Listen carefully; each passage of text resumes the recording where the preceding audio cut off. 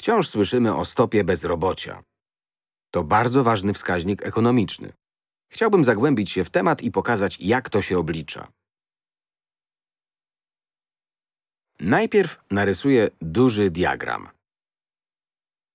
Powiedzmy, że to koło reprezentuje całą ludność USA. Ludność Stanów Zjednoczonych. Sprawdziłem, to 304 miliony ludzi. Plus minus. To są wszyscy, także mój dziesięciomiesięczny syn. Jeśli mówimy o bezrobociu, nie powinien być jeszcze uwzględniany. Jest więc podzbiór ludzi, których Urząd Statystyki Pracy bierze pod uwagę ze względu na wiek. Osoby powyżej 16 roku życia. 16 lat i więcej. W listopadzie było to mniej więcej 237 milionów ludzi w Stanach Zjednoczonych. Tutaj też mamy podzbiór, bo nie każdy w wieku powyżej 16 lat jest zatrudniony. Woli siedzieć w domu, uczy się, służy w wojsku lub jest na emeryturze. Trzeba więc wydzielić podzbiór osób w wieku odpowiednim do pracy. To jest siła robocza. Siłę roboczą zaznaczę na różowo. Ten podzbiór. Jednak zmienię kolor, narysuję na zielono. Ten zielony podzbiór to siła robocza. Siła robocza. Według danych z listopada to 154 miliony ludzi. W obrębie siły roboczej jest podzbiór osób, które Urząd Statystyki uznaje za bezrobotne. Bezrobotni. Zaznaczę na pomarańczowo. Według najświeższych danych to jakieś 15 milionów. 15 milionów bezrobotnych. Bezrobotni.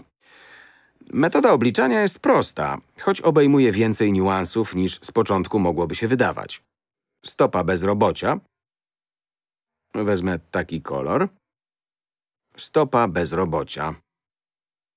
Stopa bezrobocia jest równa liczbie bezrobotnych. Napiszę to na pomarańczowo. Liczba bezrobotnych podzielona przez siłę roboczą. Podzielona przez siłę roboczą. A siła robocza składa się z bezrobotnych z bezrobotnych i, jak łatwo się domyślić, z zatrudnionych plus zatrudnieni. W tym przykładzie, żeby obliczyć stopę bezrobocia, 15 milionów bezrobotnych umieścimy w liczniku, a w mianowniku będzie cała siła robocza. 15 milionów bezrobotnych i tyle co 154 minus 15. 139 milionów. 139 milionów osób zatrudnionych. Ta liczba tutaj wynosi 139, tutaj mamy 15, a to jest cała siła robocza. 154 miliony ludzi. To proste. Jeśli przeliczycie, wyjdzie wam jakieś 10%. Zastanówmy się nad definicjami bezrobotnych i siły roboczej. Trochę się różnią od rozumienia potocznego tych terminów. Według Urzędu Statystyki Pracy bezrobotnym jest ten, kto nie ma pracy, ale chce ją mieć. Jak określić, czy ktoś chce mieć pracę? Urząd sprawdza, czy ten człowiek szukał pracy. Poszukiwanie pracy. W ostatnich czterech tygodniach.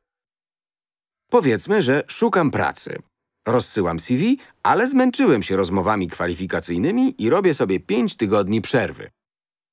Nie uznają mnie za bezrobotnego. To ważne. Powiedzmy, że w gospodarce jest bardzo źle. W pierwszym tygodniu należę do bezrobotnych. Nie mam pracy, ale jej szukam, więc siedzę tutaj. Należę do siły roboczej. Nie jestem zatrudniony, ale szukam pracy. Po jakimś czasie męczę się, robię parę miesięcy przerwy. Nie chcę nawet szukać pracy, zaczekam na poprawę sytuacji. Dołączam więc do puli osób poza siłą roboczą. Zamiast należeć do siły roboczej, do osób zatrudnionych, jeśli zrobię więcej niż miesiąc przerwy, Jeśli przez 4,5 tygodnia nie będę szukał pracy, to trafię do innej grupy. Do grupy bezrobotnych oddalonych od rynku pracy. A ci ludzie, według metodyki amerykańskiej, nie należą do siły roboczej. Przestałem być siłą roboczą, więc zabierzcie mnie z licznika, ale z mianownika też.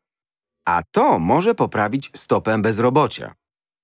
Uważajcie, bo to nieintuicyjne. W gospodarce może być tak, że ponieważ wypadłem z puli siły roboczej, to poprawi się stopa bezrobocia. Objaśnię to na prostym przykładzie. Wyobraźmy sobie świat, świat, którego cała potencjalnie pracująca dorosła populacja składa się z trzech osób.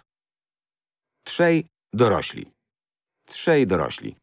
W takim wieku, że mogą pracować. I powiedzmy, że podzbiór tej dorosłej populacji, który uważamy za siłę roboczą, powiedzmy, że to dwie osoby. Co za liczby, ale będzie łatwiej zrozumieć. Z tych dwóch ludzi w sile roboczej jest jeden bezrobotny. Jeden jest bezrobotny. Jeden bezrobotny. Prosty przykład. Dwaj członkowie siły roboczej, jeden bezrobotny, drugi zatrudniony. Jest jeszcze jeden dorosły. Może się uczy, może nic nie robi, a może to emeryt. Nie wiemy. Powiedzmy, że ja jestem tym bezrobotnym. Jestem tym bezrobotnym. Jestem bezrobotnym. Szukam pracy, ale tyle razy mnie odrzucono, a sytuacja jest tak zła, że postanawiam odpocząć. Albo po prostu się załamuję. Dobija mnie takie życie. I przestaję szukać pracy, zniechęcam się. Według Urzędu Statystyki Pracy nie należę już… E, to z okresu, kiedy jeszcze próbowałem. Tu próbowałem. Ale jeśli zrezygnuję, jeśli tak się zniechęcę, że przez ponad cztery tygodnie nie będę szukał pracy, to teraz narysuję nowy diagram dla trzyosobowego kraju. Wciąż są trzej dorośli. Wciąż trzej dorośli. Ja już nie jestem bezrobotnym, bo przestałem szukać. Nie należę do siły roboczej. Bo nie szukam pracy. Teraz zatem cała siła robocza to jeden facet, który ma pracę. Jedna osoba. I nie będzie bezrobocia, bo w sile roboczej nie ma nikogo bez pracy. Przeskoczyłem do tej kategorii. Teraz jestem tutaj. To ja. To mój podzbiór. Smutna buźka. To ja. Tutaj stopa bezrobocia wynosiła 50%. 1 dzielone przez 2. 1 podzielić przez całą siłę roboczą. To 50% bezrobocia. Kolejna przesadzona liczba. W tej sytuacji, ponieważ odpadłem z siły roboczej, bo się zniechęciłem, nie liczą mnie. Więc bezrobocie wynosi 0%.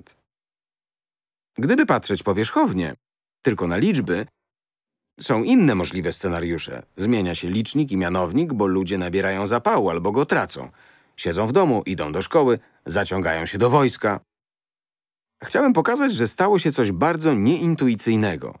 Ponieważ w gospodarce było źle, wypadłem z siły roboczej. I dlatego stopa bezrobocia z pozoru wygląda dobrze.